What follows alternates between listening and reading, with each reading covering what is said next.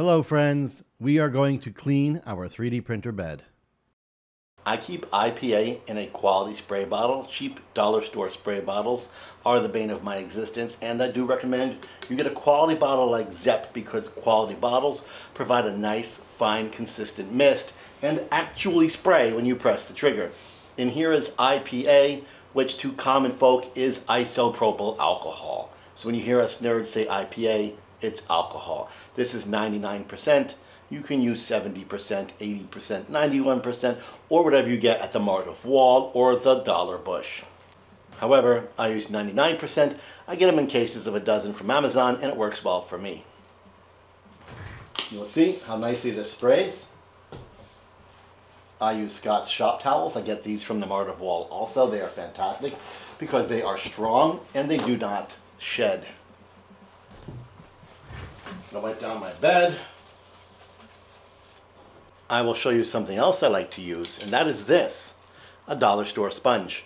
My smooth bed has been wiped down with copious amounts of IPA. You may not be able to tell from here, but it still looks kind of bad.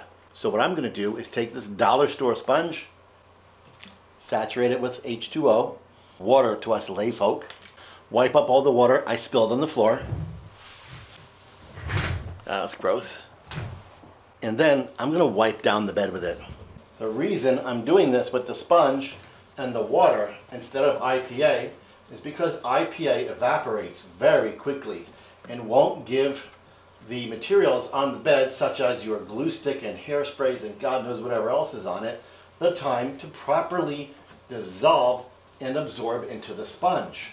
So using water, which is slow dissolving, and a nice soft sponge, I can slowly let everything on this hotbed absorb the water, dissolve, and then absorb into my cheap dollar store sponge. And because it's a cheap dollar store sponge, when I'm done I can just throw it away. I then wipe it down one last time with my super awesome Scott's towels. And I don't know if you can tell, but my bed is beautiful.